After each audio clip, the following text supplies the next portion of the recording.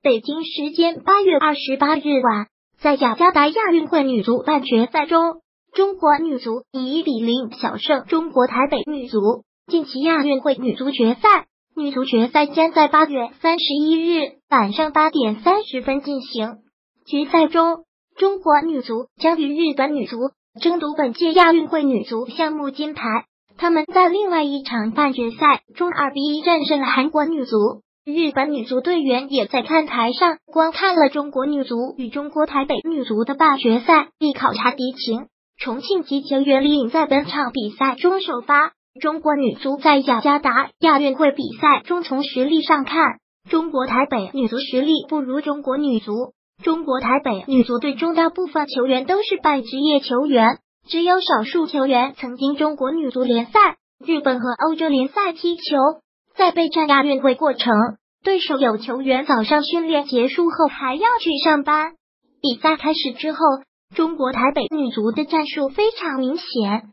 中国台北女足在自家门前采用密集防守的方式阻止中国女足的进攻。上半场，王珊珊的打门击中立柱。上半场四十五分钟比赛中，中国台北女足摆大巴的战术得以成功实施。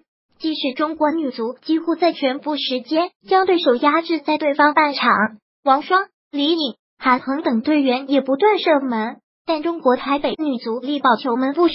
上半场，中国女足的射门次数达到了十八次，却没有取得进球。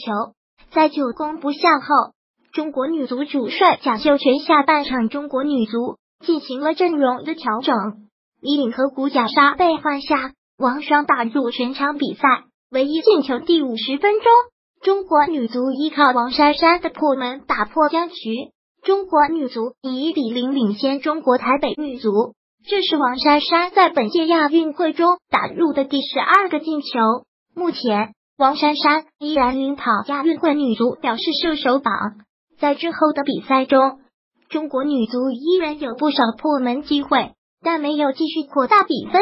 最终，中国女足一比零击败中国台北女足晋级决赛。上游新闻：重庆晨报记者何叶。